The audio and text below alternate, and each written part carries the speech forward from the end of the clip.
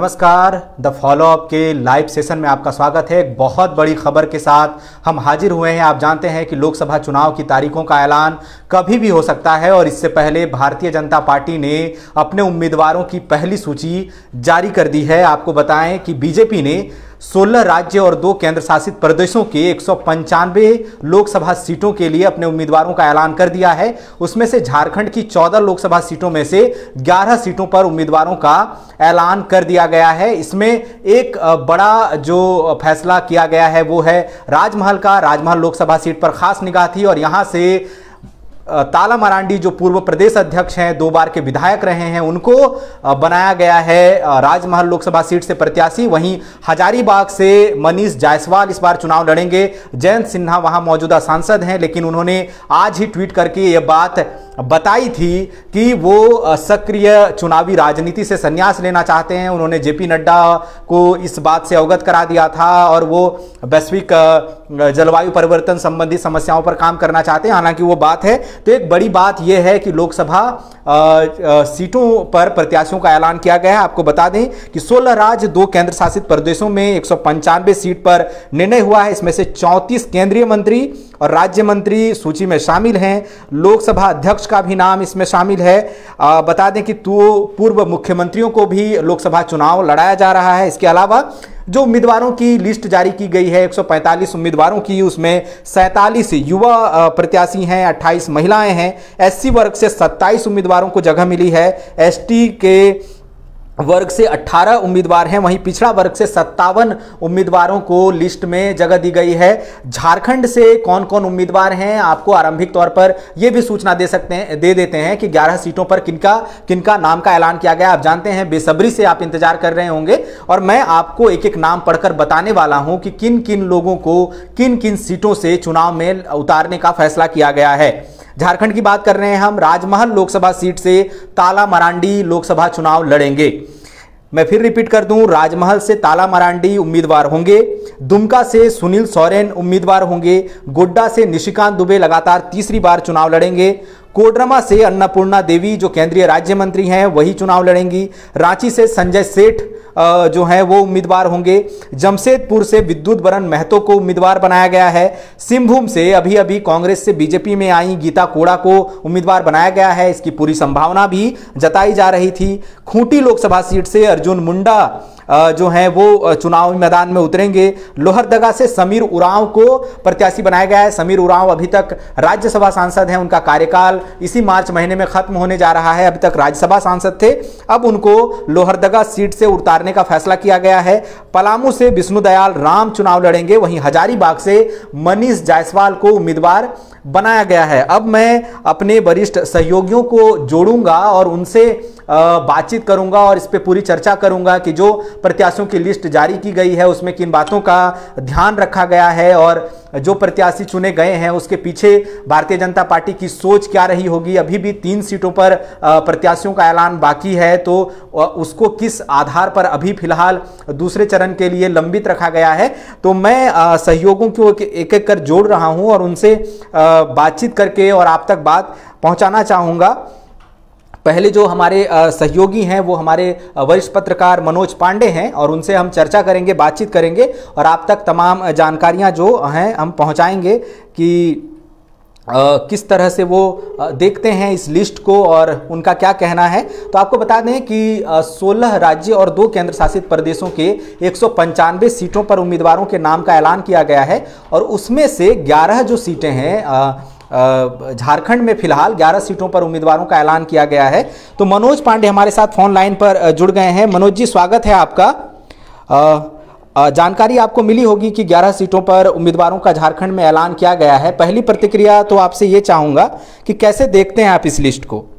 देखिए, सबसे पहले तो अपने तमाम दर्शकों का एक बार फिर से दर्शकों को बताना चाहूँगा कि सबसे पहले हम लोगों ने ही जो दो सीटों का नाम कटा है वो उन दो सीटों में सटीक अनुमान फॉलो अप का ही है। जी।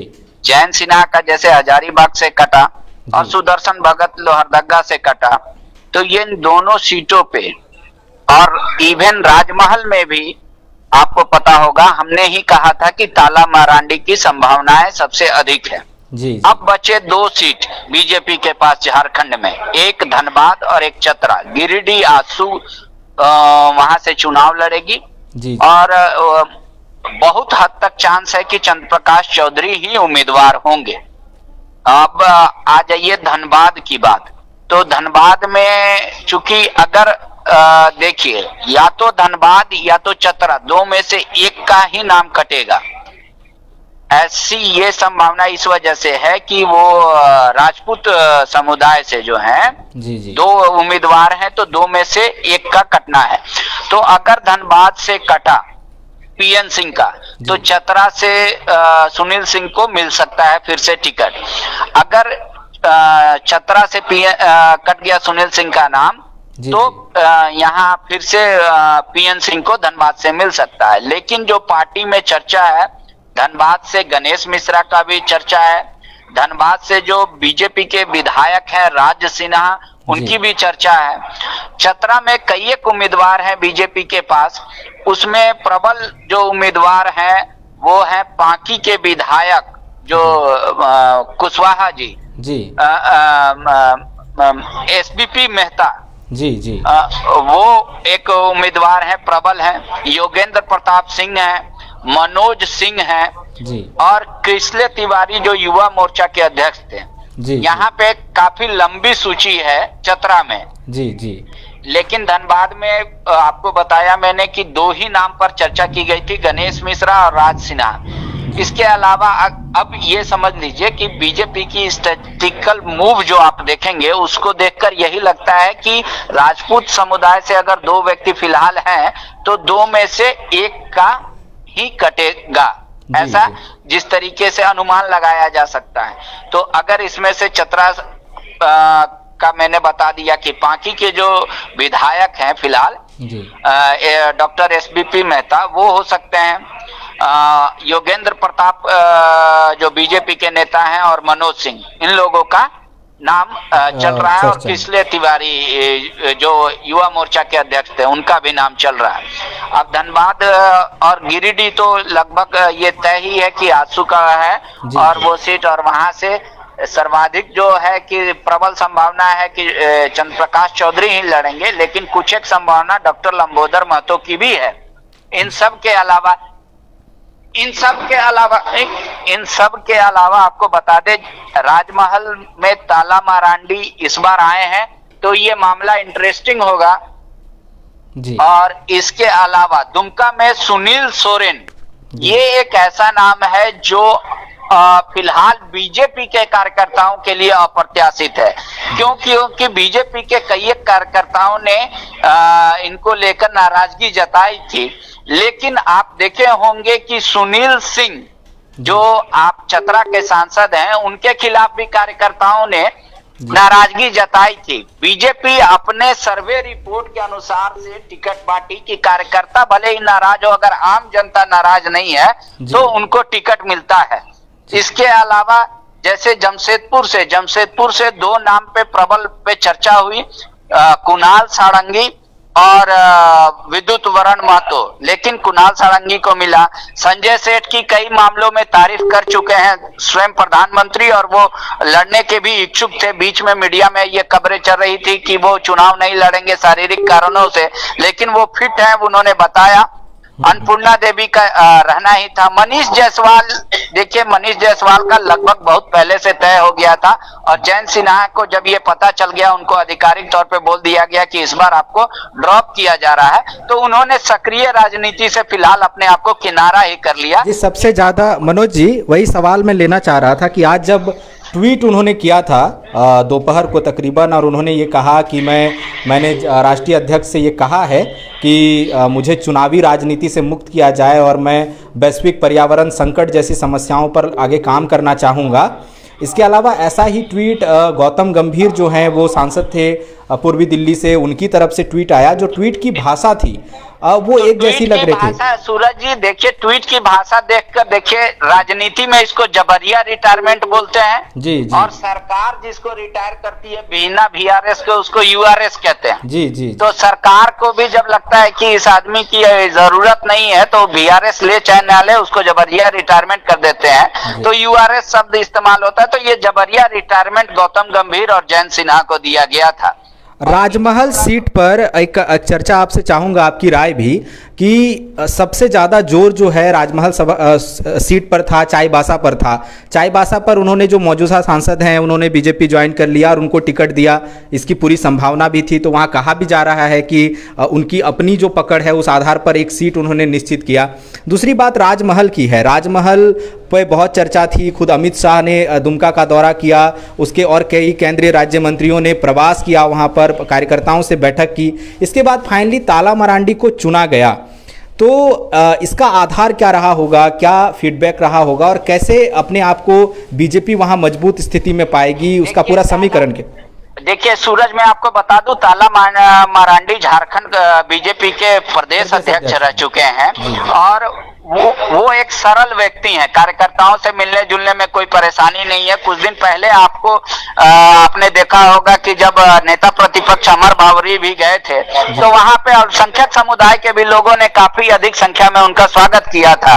लिहाजा लिहाजा जो है बाबूलाल मारांडी जो वर्तमान प्रदेश अध्यक्ष है इस पूरे लिस्ट को आप देख लेंगे तो ये समझ में आएगा कि अगर किसी पर बाबूलाल मारांडी ने भरोसा जताया है उसी को पार्टी ने टिकट दिया है। जी जी। ताला मारांडी के अलावा वहाँ पे आपने जो जिन नामों पर चर्चा हुई थी आपको भी याद होगा आपने ही उस खबर को लिखा था। जी जी लेकिन ताला मारांडी शुरू से ही बाबूलाल की पहली पसंद रहे हैं और राजमहल सीट पे जेबीएम जब आगे अकेले चुनाव लड़ा था तो हम्म। वहाँ पर जीत हासिल की गई थी। जी। तो जो झारखंड में राजमहल सीट और बिहार में किशनगंज अररिया इस सब सीटों को लेकर चर्चा होती है उसी के रूप में इनको देखा जाना चाहिए। और बाबूलाल मारांडी इस बात को भली भांति मानते थे कि सुनील सोरेन को लड़ाने से कोई नुकसान नहीं होगा क्योंकि वो सरल है और दूसरी बात जो वहाँ पे आ रही थी कि नहीं महिला उम्मीदवार के तरफ़ से लेकिन विधानसभा को देखते हुए उनका नाम हट गया और फिर से सुनील सोरेन को टिकट मिल गया। संजय सेठ का मैंने आपको बताया ही। विद्युत वरण महतो चूँकि उनका नाम चल रहा था और उन्होंने एक बहुत उनका कुणाल सारंगी का भी नाम चल रहा था तो उस समय हुआ कि महतो समुदाय से बीजेपी के तरफ़ से एक को तो रहना चाहिए। तो वो बेस्ट ऑप्शन वही लगा कि जमशेदपुर में दिया जाए। हालाँकि वहाँ पे जो जातीय समीकरण है आप देखेंगे जमशेदपुर लोकसभा में ये बहुत बड़ा फैक्टर नहीं है कि वहाँ से महतो समुदाय का उम्मीदवार होना चाहिए। लेकिन फिर भी विद्युत वरण महतो चूँकि अकेले जाते हैं बीजेपी के तरफ़ से और आँसू के तरफ़ से दूसरा होंगे चंद्र प्रकाश चौधरी इसलिए उनको कंटिन्यू रखा गया। खुट्टी से अर्जुन मुंडा चूँकि केंद्रीय मंत्री भी है इस दौरान काफ़ी काम भी किया है। और खुट्टी से चूँकि खुट्टी जिस तरीके की लेगेसी बीजेपी वहाँ पर लेकर चल रही थी। हम्म। आपको याद होगा कि वहाँ से जी करिया मुंडा जो जी आठ करिया मुंडा जो है आठ बार उन्होंने प्रतिनिधित्व किया। हाँ बिल्कुल। और एक चर्चा ये भी चल रही है फ़िलहाल कि राज्यसभा में किसको भेजा जाए। तो उसमें करिया मुंडा के पुत्र का भी नाम है आशा लकड़ा का भी नाम है इन सब के अलावा मैंने जो आपको दो नामे बत, नाम का खुलासा किया था वो और एक पुलिस अधिकारी हैं जिनका फ़िलहाल नाम लेना उचित नहीं होगा वो भी राज्यसभा के उम्मीदवार हो सकते हैं हो सकता है कि वो बीआरएस के लिए अप्लाई कर दें। और वो उम्मीदवार बन जाए। मनोज जी, खुटी पर आपसे एक लूँगा कि निश्चित रूप से वो बीजेपी के लिए गढ़ की तरह रहा और जो एसटी आरक्षित भी है सीट और वहाँ पर बीजेपी सबसे बार, ज़्यादा बार जीती, करिया मुंडा ने लगातार वहाँ जीत दर्ज की। 2019 में जब अर्जुन मुंडा जीते तो जो जीत हार का अंतर था उनका कालीचरण मुंडा से, वो 1445 वोटों का ही मात्र था। और काफ़ी करीबी अंतर से वो जीतने में सफल रहे। तो इस बार जब अर्जुन मुंडा को रिपीट किया गया, निश्चित रूप से वो केंद्र में मंत्री हैं और दो दो मंत्रालय संभाल रहे हैं तो क्या जो जनता है वहाँ की उन लोगों का जो फीडबैक रहा होगा, क्या उसको पार्टी ने ध्यान में रखा होगा और खासतौर पे केंद्रीय मंत्री के तौर पर उनके कामकाज को भी जनता रख रही होगी ध्यान में कि उन्होंने जनजातीय मंत्रालय या हाल में जब उनको कृषि मंत्रालय सौंपा गया तो किस तरह से काम कर रहे हैं? देखिए दो बात है। कालीचरण मुंडा के भाई नीलकंठ सिंह मुंडा नीलकंठ सिंह नीलकंठ सिंह मुंडा जो है वो बीजेपी में है। उसके अलावा जो दो लोग नीलकंठ सिंह मुंडा है और उनके अलावा जो आपको बता दें कि उस क्षेत्र में जो वहाँ पे उम्मीदवार थी ये आपका जो दयामणि बारला जी जी। उन, उन वो जो वोट लाई थी उनको टैक्ट करने के लिए अपने पक्ष में करने के लिए कांग्रेस ने उनको ज्वाइन कराया। लेकिन करिया मुंडा राजनीति के बहुत मज़े हुए खिलाड़ी के तौर पे देखे जाते हैं।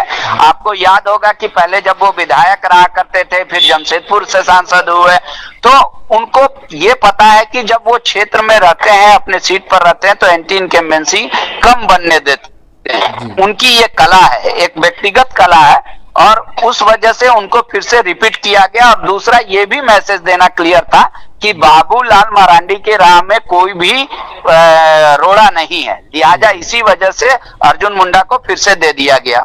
लोहरदगा से चूँकि समीर राव राष्ट्रीय अध्यक्ष हैं एसटी मोर्चा के और समीर राव विधायक भी रह चुके हैं तो और फ़िलहाल राष्ट्रीय अध्यक्ष है तो समीर राव को देना लाजमी था। हालाँकि वहाँ से दो नामों का चर्चा चल रही थी। आशा लकड़ा भी प्रबल उम्मीदवार थी। जी जी। लेकिन अब हो सकता है कि आशा लकड़ा को राज्यसभा मिले या फिर विधानसभा में उनको मौका मिल सकता है आशा लकड़ा को।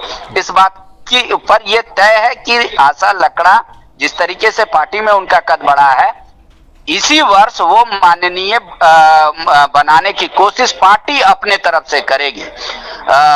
गोड्डा तो निशिकांत दुबे का लगभग अमूमन तय ही था।